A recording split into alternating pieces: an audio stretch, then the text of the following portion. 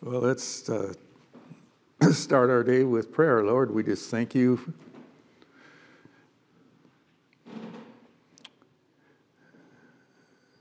For this day, your day, Lord. Lord, we just want to honor you. We want to focus on your word.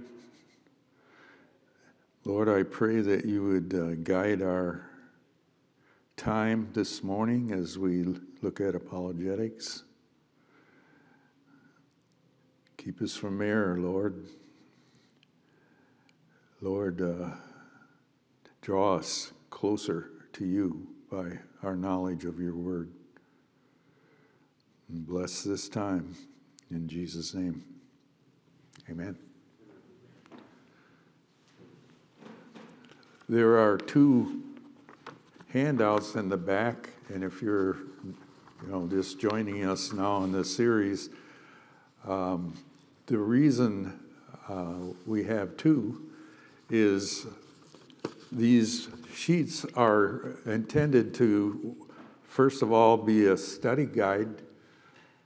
We're following uh, the text of um, the Summit curriculum for apologetics the books Understanding the Times and uh, Understanding the Faith.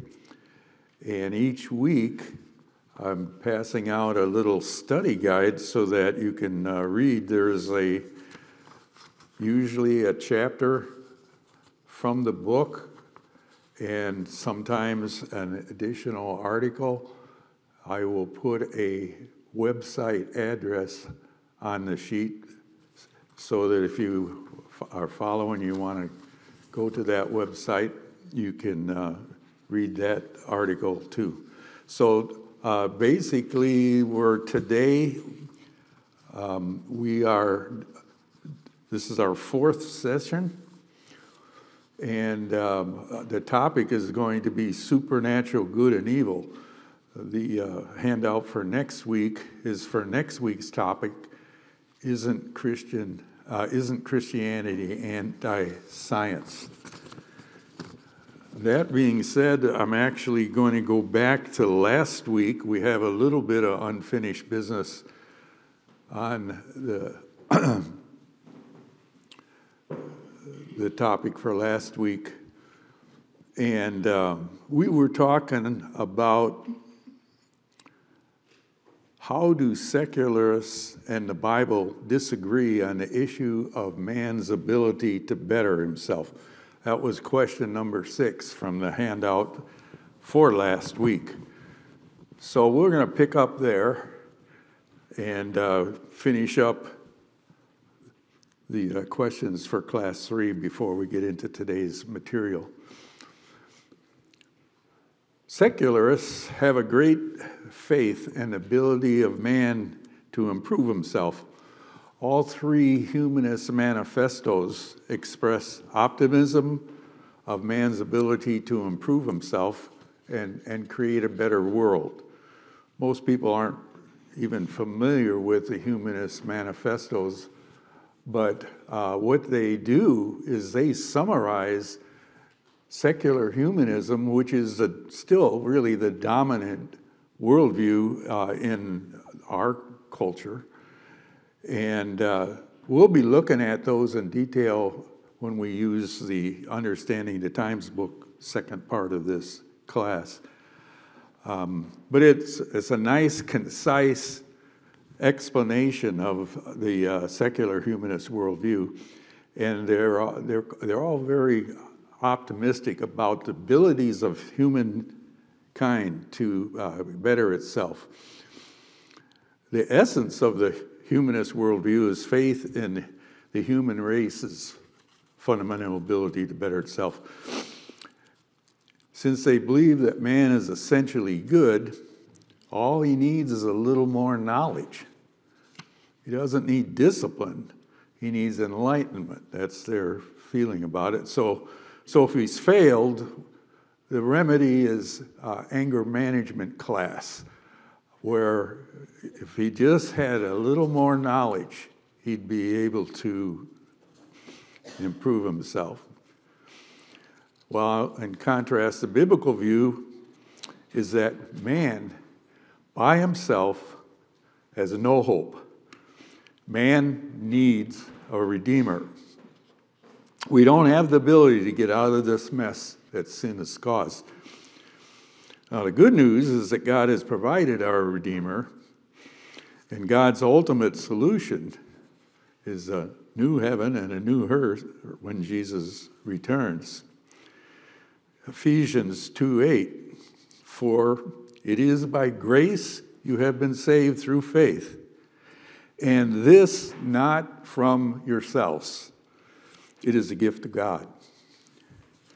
The Bible also tells uh, that uh, God provides grace to overcome sin in this life, and this is what we, we call sanctification.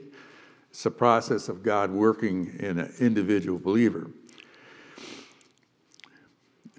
There's a, a fundamental conflict about the future of humanity between what the Bible tells us and secular humanism and Marxism.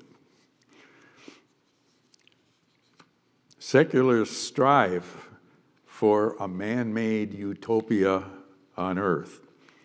The Bible tells us that only Jesus' return will make things right. Uh, following last week's sheet again, number seven, the, the question was what is humanity's natural response to sin, and why is this nat- uh, natural human response to sin mistaken?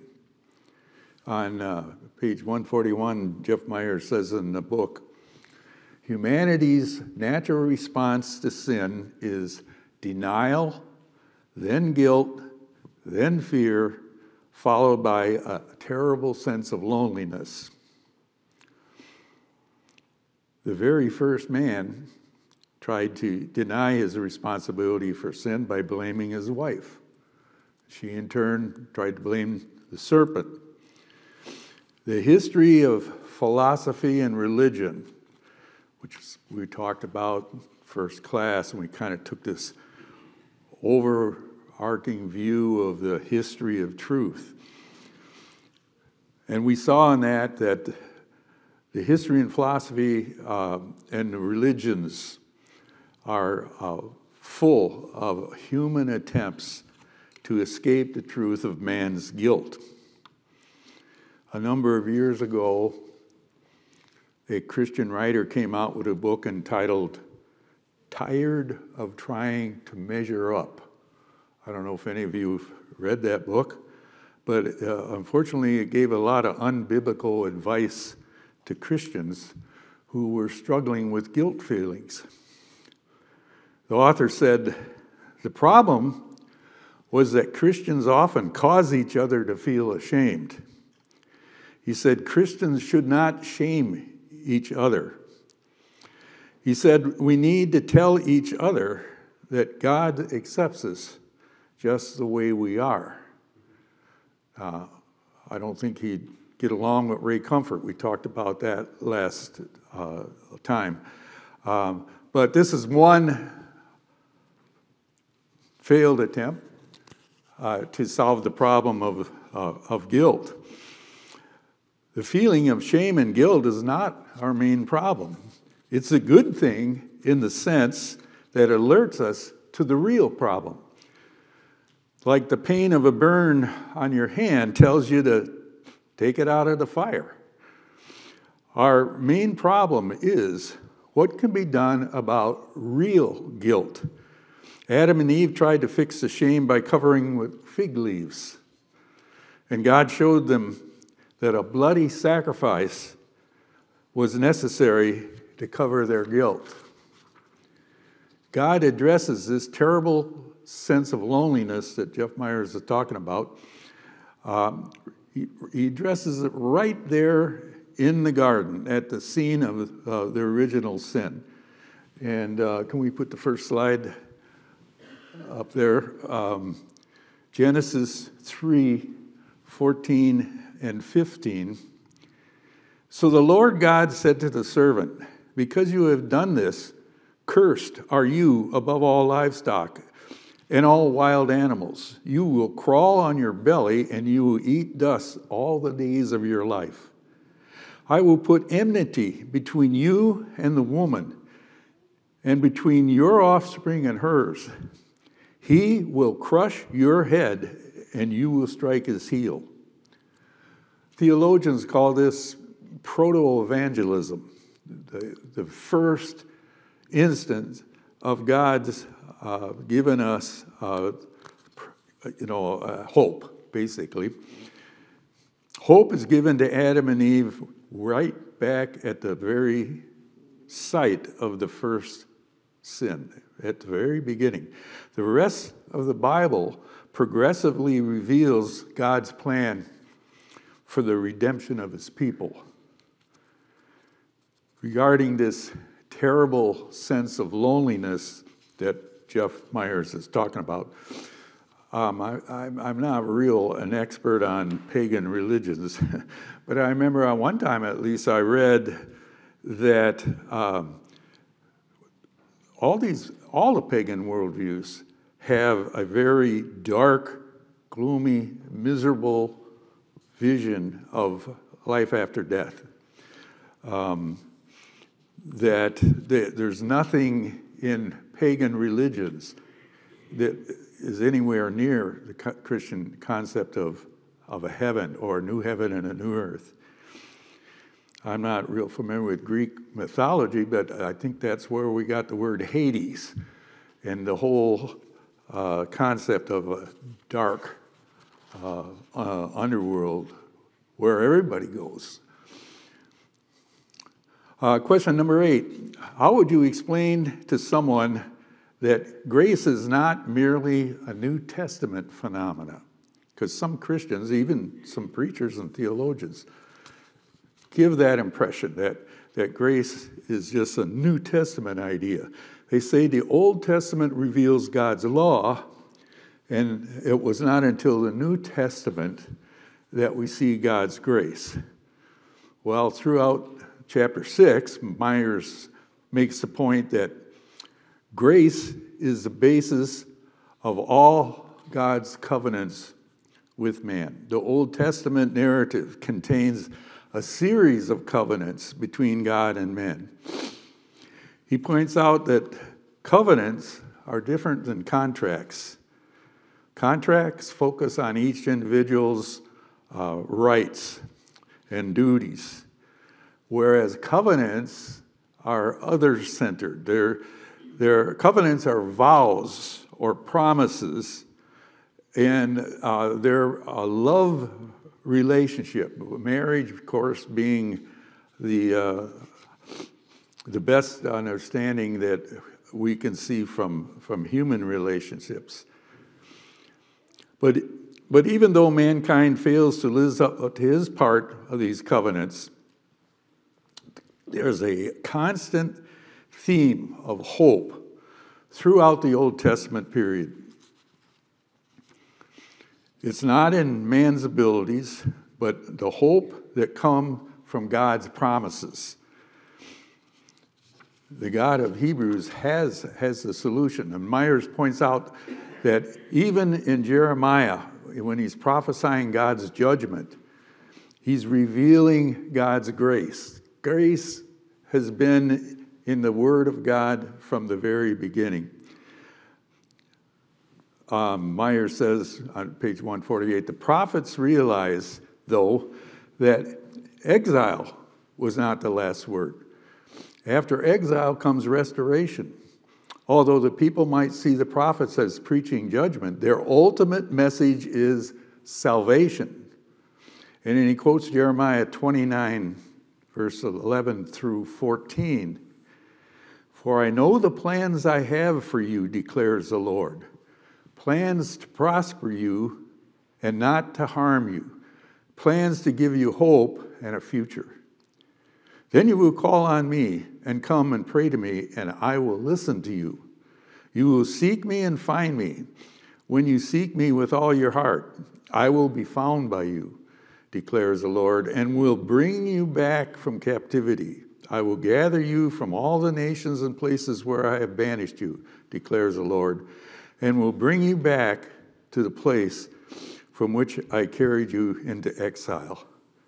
And two chapters later, Jeremiah says in 31 31, The days are coming, declares the Lord, when I will make a new covenant with the people of Israel and with the people of Judah. So, this wonderful meta narrative of grace. Um, if you recall, that was the main theme of our uh, study for this last week the meta narrative, the big picture that the Bible gives us. So, this wonderful meta narrative of grace continues to unfold in Luke 22 20, where Jesus speaks of the fulfillment of the covenant. And Luke 22 20 is in the same way, this is at the Last Supper. In the same way, after the supper, he took the cup, saying, This cup is the new covenant in my blood, which is poured out for you. So only when the Son of God becomes a man, lives a sinless life, and becomes a perfect sacrifice is that requirement for God's covenant met. Uh, last question on the uh, assignment sheet or the study guide was how does the meta narrative end? Um, Jesus brings a new heaven and a new earth in his second coming. I have a, a couple of postscripts on uh, this uh, theme that I've talked a little bit about here about guilt. Um, in relation to this phenomena that seems to be increasing, this idea of uh, deconstructing your faith. And uh, I just want to, it's like a postscript here. Um, what, do, what, first of all, what do we mean by the deconstruction of one's belief?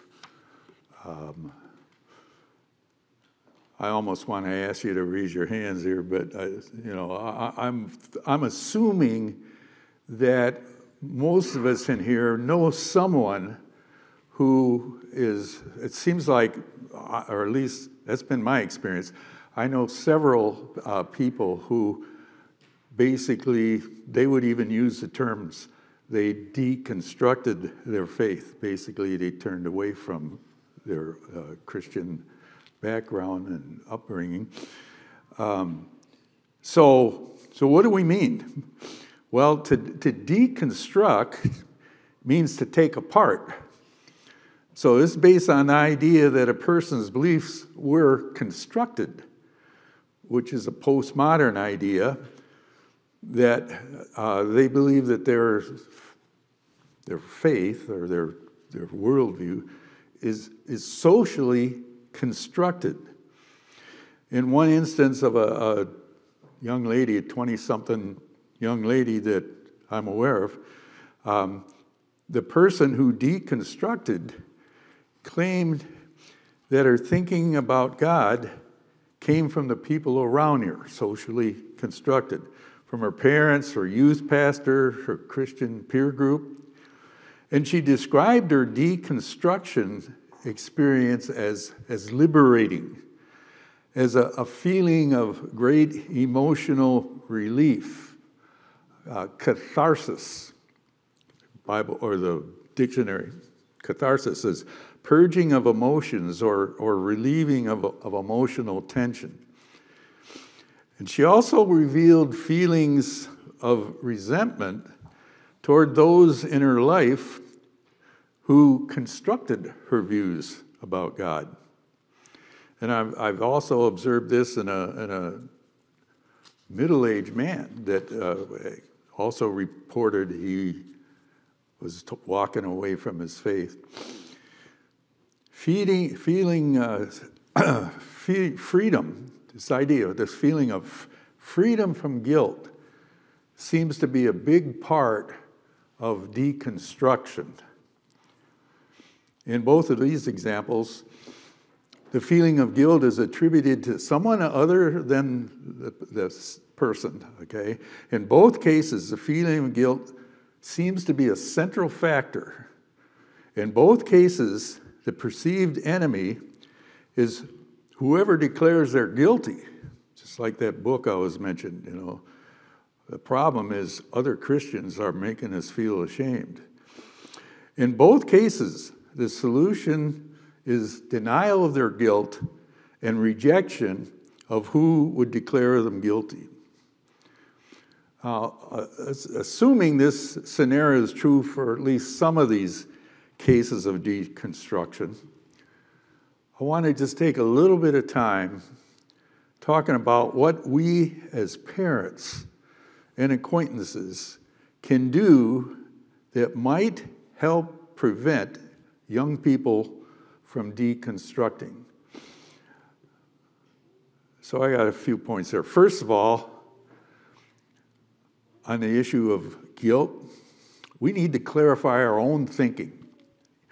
Every human being is guilty of sin and deserving of eternal damnation.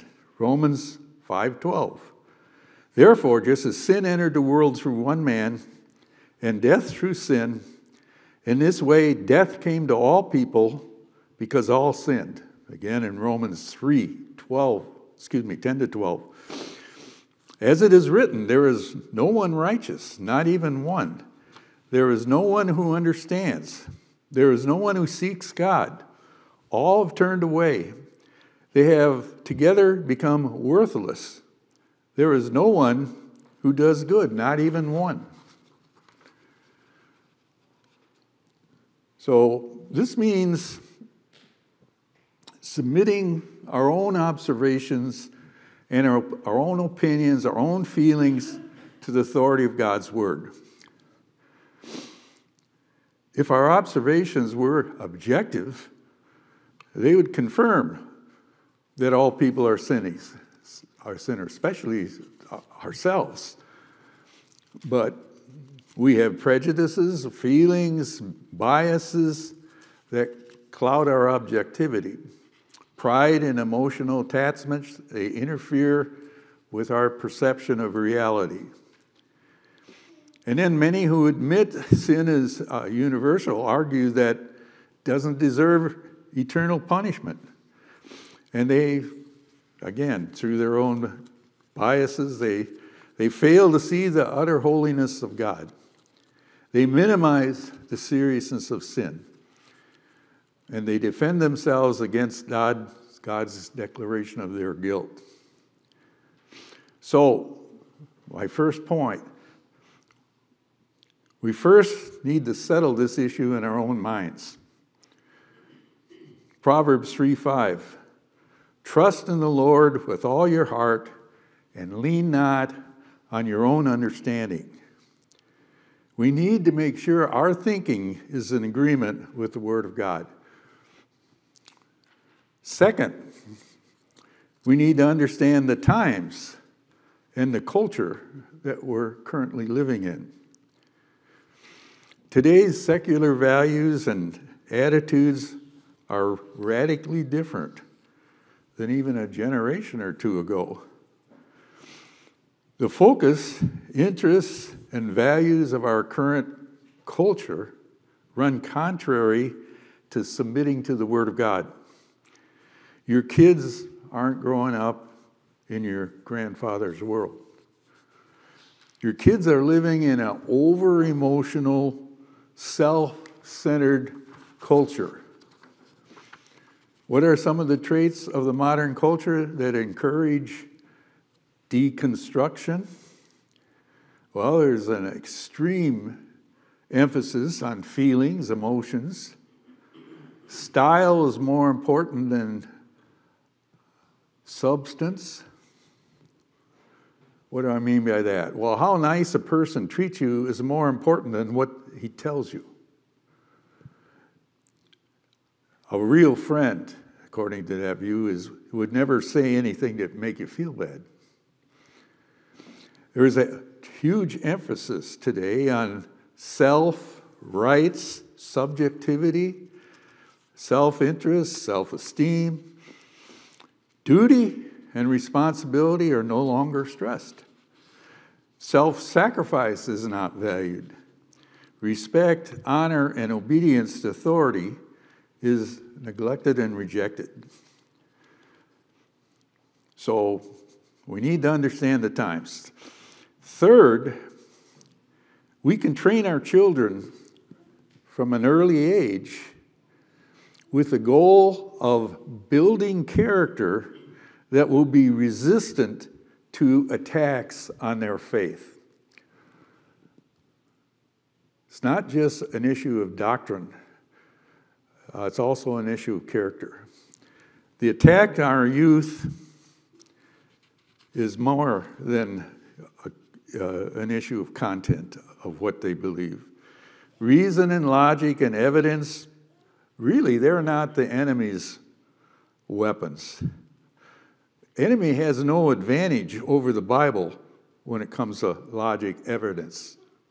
It's all stacked on our side.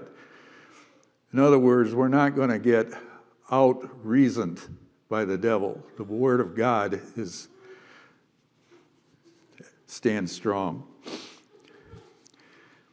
Yes, we should do everything possible to prepare our youth.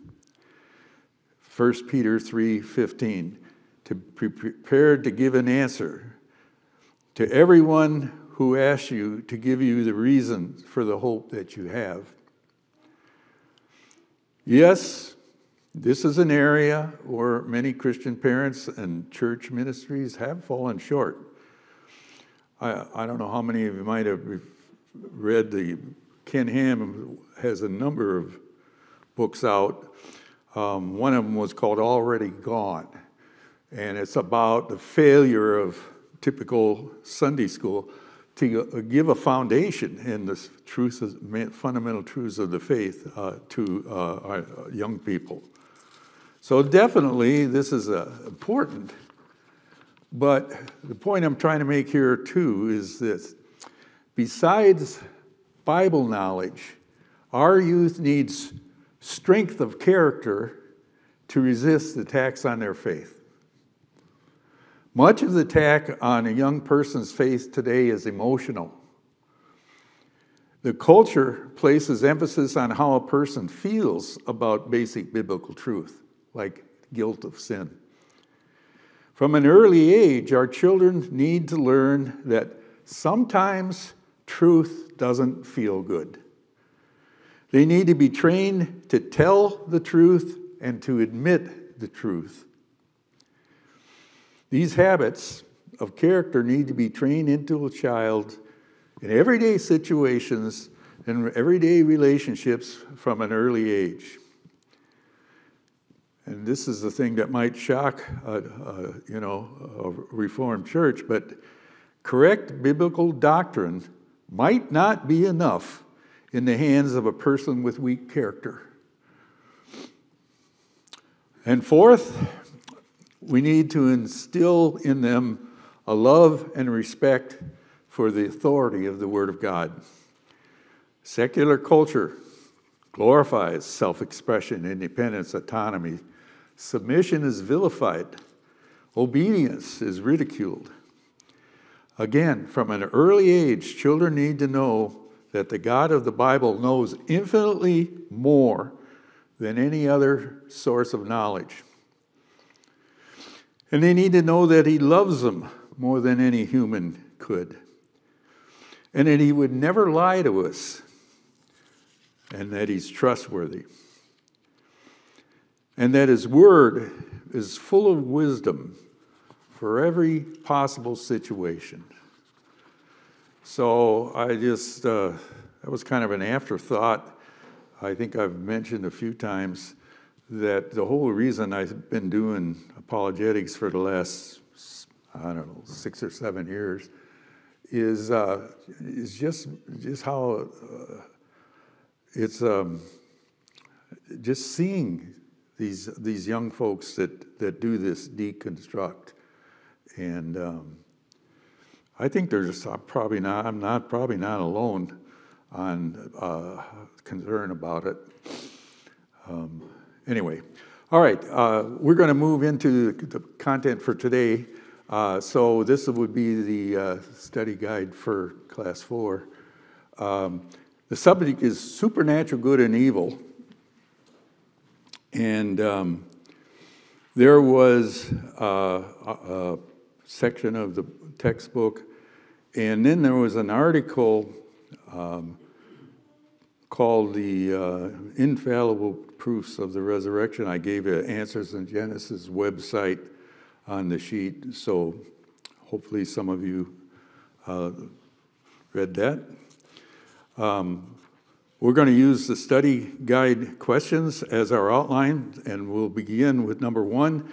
How did the Bible uh, explain how the Bible is not just an account of a teacher with a good moral philosophy? So, the focus for the um, session here is um, supernatural, the supernatural good and evil. When I was 21, like most of my 21 year old friends, I thought I knew everything. And my friends and I thought Jesus was cool. And uh, so was Muhammad.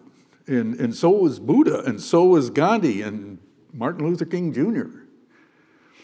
They were all good moral teachers. They were all cool human beings. It's amazing how ignorant we were. And it's amazing how ignorant people are today about the differences in the lives and the claims of that list of diverse individuals. I wish somebody would have slapped me up the side of the head and reminded me that this Jesus is much more than a great moral teacher. Jesus claimed to be God. None of those others did. Jesus' followers said he rose from the dead. Jesus performed many miracles during his life on earth. Jesus did supernatural things. But in my experience as a young man, there was not much emphasis on the supernatural side of Jesus. Myers says on page 270 in the textbook, he says, Since the age of the Enlightenment, some have tried to present Christianity without the supernatural. Thomas Jefferson wrote a Bible with all references to miracles and Jesus' deity re- removed. I mean, was he embarrassed by the gospel? Has the modern church been timid about emphasizing the supernatural in its evangelism. Paul stakes the validity of the Christian faith on whether Christ bodily rose from the dead. 1 Corinthians 15, verse 14. And if Christ is not raised, our preaching is useless, and so is your faith. Myers says Christianity is quite different from all other faiths and it relies heavily on miracles to provide faith in ways which other religions, such as Islam, do not. The Greek word for miracle is, there we go, semaios. Probably murdered it, but um, which means sign. Um, so, uh, question number two was explain why Mark Twain's famous statement that faith is believing what you know ain't so is not true. Well, Samuel Clemens, Mark Twain, he's saying that religion is based on unsubstantiated belief that cannot be proved. His argument is based on the exception uh, on acceptance of the presupposition of philosophical naturalism. This is the dominant view in 21st century America. His presupposition disallows even the possibility of miracles. So, the, the concept of a presupposition is like this is something that it's an axiom. It's something that you have assu- assumed to be true, and it's the basis for how you interpret everything else. Number three said explain each of the following terms miracle, okay, a supernatural sign or event that is tended to highlight the power and goodness of God. Materialism, the belief that reality is composed solely of matter. Naturalism, the belief that everything that exists is composed of natural entities that can be explained and justified through scientific investigation.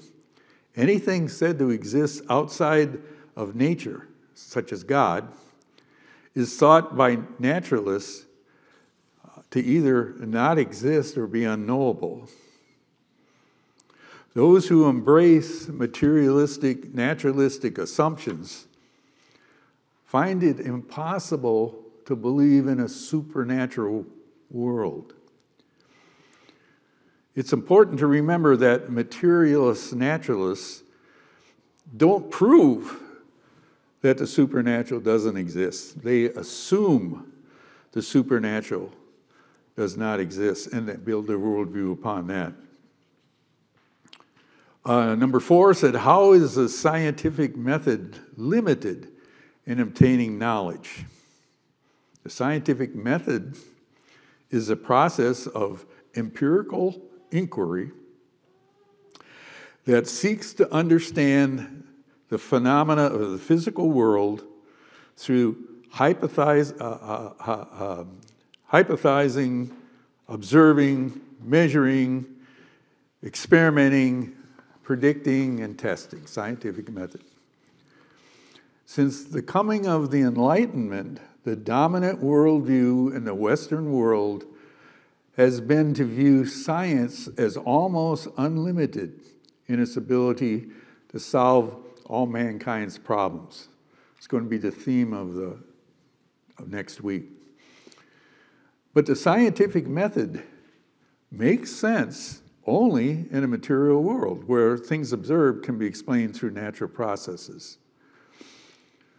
Number five said if Jesus' body were found in the tomb, what would his enemies most likely do with his body?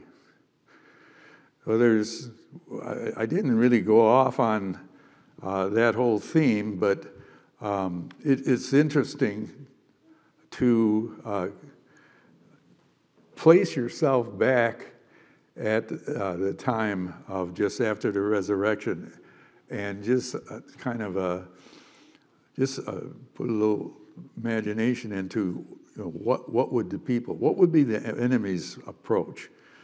Uh, the enemies of the truth of the uh, gospel. Um, for example, in this case, they'd, they would probably display the corpse uh, to expose the fraud, in their mind, the fraud that Jesus was alive. How many people saw Jesus after he rose from the dead?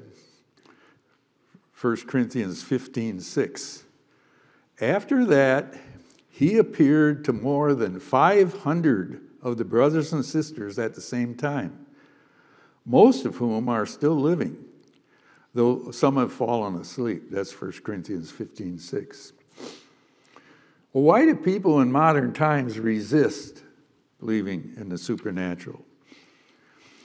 Well, we live in a time, in a culture that insists that the natural world is all there is. Acceptance of the reality of the supernatural, uh, even supernatural evil, interferes with the idea that mankind is in control of the world. If the supernatural evil exists, the possibility of supernatural good becomes real. The denial of the existence of supernatural spirituality is man's way of avoiding accountability to God. Great effort is put in uh, giving uh, natural explanations of supernatural evil. Myers says, page 294, he says, For materialist humanists, the residue of enchantment is a serious problem. Society cannot advance until people become sufficiently disenchanted with spiritual things. He goes on, many Christians, in attempt to meet the challenges of materialism, naturalism, try to explain things such as demon possession in terms that seem more scientifically acceptable. Terms like, you know, mental illness. Other Christian counselors, such as Jay Adams, strongly resist this approach. And he's a quote from, from Jay Adams. He says, Organic uh, malfunctions affecting the brain that are caused by brain damage, tumors, gene inheritance, glandular chemical disorders, validly may be termed as mental illness. But here's the point. But at the same time, a vast number of other human problems have been classified as mental illness, which there is no evidence that they have been uh, endangered by disease at all. There's a, we, could, we could go way off into a, a whole side point here about Christian counseling, and I'm, I'm, there's people here in this church that are way more versed in that than I am, but it's, it's a huge issue of understanding the spiritual causes of uh, human behavior. And um, number eight, how does the presence of spiritual evil highlight the power of Jesus? Well, other religions portray evil spiritual beings with power, sometimes equal and more powerful uh, than their, their good gods or their main divinities. The absolute superiority of the Lord Jesus in the Bible is never in doubt. But Scripture also reminds us that supernatural evil powers do exist, and they're real, and they, they can be harmful. Number nine,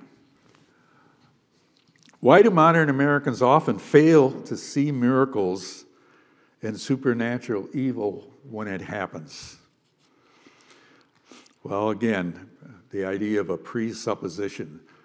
It's a closed minded assumption, uh, and uh, their, their faith in science has basically blinded them. Number 10, how is the statement? The greatest trick the devil ever played was to convince the world he didn't exist. Why is that true for many modern Americans? Well, most modern Americans tend to attribute everything they observed to natural causes. The underlying assumption is that in past times, before we had modern science, many things were thought to have supernatural causes. But now that we have uh, naturalistic answers, we don't need supernatural explanations. We no, no longer need a devil, no longer need God. Number 11, how, did, how does belief in supernatural evil change a person's understanding of reality? Evil that cannot be explained by natural causes has a sobering effect. The skeptic's presupposition of naturalism is challenged, needs to be challenged. To be open to the truth of the gospel requires a belief in the supernatural. So, uh, those are the questions that were part of the uh, textbook reading.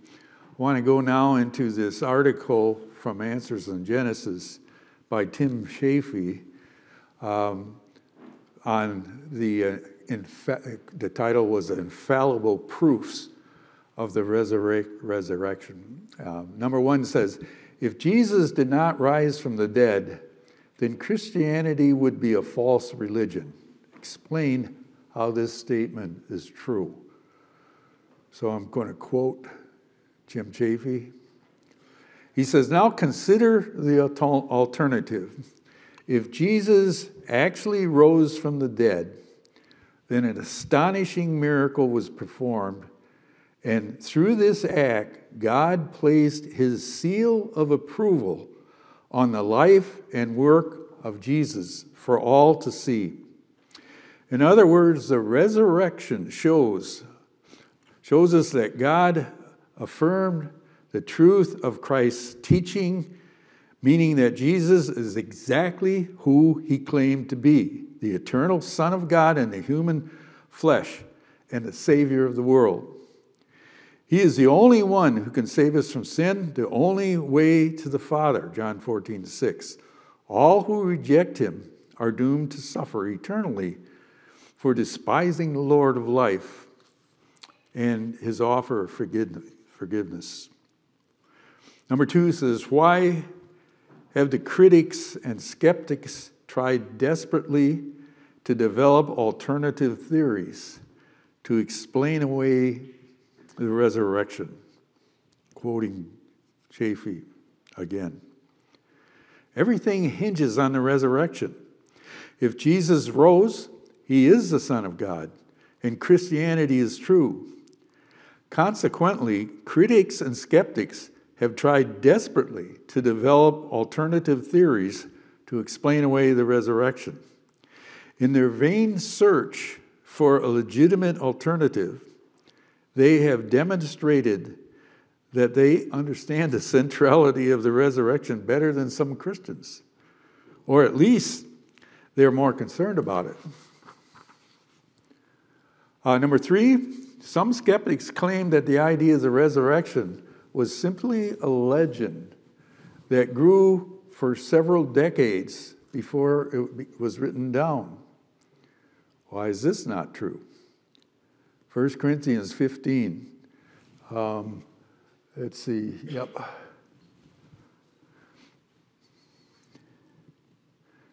For what I received, I passed on to you as of first importance that Christ died for our sins according to the scriptures, that he was buried and he was raised the third day according to scriptures, and he appeared to Cephas and then to the twelve. After that, he appeared to more than 500 of the brothers and sisters at the same time, most of whom are still living, though some have fallen asleep. Then he appeared to James, then to all the apostles. And last of all, he appeared to me as one uh, abnormally born. For I am the least of the apostles, and I do not deserve to be called an apostle because I persecuted the church. So, Paul wrote 1 Corinthians just a few years after the resurrection, which rules out that theory that the uh, it's amazing. It's amazing to me how many just really wild, unbased theories uh, that keep on being uh, presented as an alternative to the facts. Paul cites a bunch of eyewitnesses uh, when, in uh, verse 15, uh, excuse me, chapter 15, verse 6. Uh, he says, most of whom were, were still alive. Uh, number uh, four, um, what did Jesus say to the Pharisees about the resurrection? This is, uh, let's see. Go next, go to the next slide here. I'm not sure. Yeah, there we go. Jesus said on multiple occasions that his death and resurrection would be the one sign he would give to the unbelieving and wicked generation. We, we heard about this in Seth's sermon just a couple of weeks ago. When asked by the Jews to perform a sign, he predicted his resurrection by saying, Destroy this temple, and in three days I will raise it up. That's John uh, 2 19 to 22.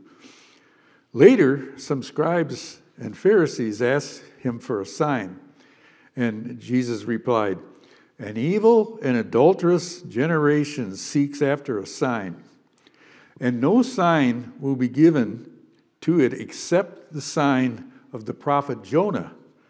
For as Jonah was three days and three nights in the belly of the great fish, so will the Son of Man be three days and three nights in the heart of the earth. Number five says, What is the main cause of unbelief in the, rejection, uh, uh, in the resurrection of Jesus? Again, Tim Chaffey says, Some may wonder how a proof could be called infallible when so many people refuse to believe it. In the case of the risen Jesus, the problem was not with the evidence. After all, he was standing in front of them and could be touched and heard. Even today, the problem is not with the infallible proof of Scripture, nor is there a problem with the evidence from history or archaeology. The main problem with humanity's uh, is with humanity's stubborn, rebellious heart. Uh, can I have Luke 16?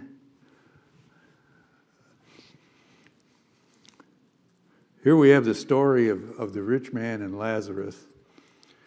In it, the rich man, who is suffering in hell, is pleading for someone to come and warn his family members it says, so that they will not come to this place. In chapter 16, set verse 27, he answered, Then I beg you, Father, send Lazarus to my family, for I have five brothers. Let him warn them, so that they will also come to this. Uh, they will also, they will not also come to this place of torment. Abraham replied, they have Moses and the prophets. Let them listen to them. No, Father Abraham, he said, but if someone from the dead goes to them, they will repent. And he said to him, If they did not listen to Moses and the prophets, they will not be convinced, even if someone rises from the dead. There's a popular evangelist, preacher, big megachurch guy, um, who has, uh, I think, really missed the point here, um, claiming that, you know, his, his, his viewpoint is that the events of the New Testament are what we base our faith on. And the, the contrary view is no, it's, it's, the, it's the Word of God. And um, here we have an example where in this last verse he said to him, If they do not listen to Moses and the prophets, they will not be convinced even if someone rises from the dead. The Word of God says it's by, it's by hearing the word. Um, in other words, as I read this, I, I see the point being made that even if you saw it with your own eyes, that's not how faith comes. Faith doesn't come from visual observation, it comes from hearing and hearing the word of God. And uh, so, if they didn't listen to Moses and the prophets, they were not convinced, even as someone rises from the dead.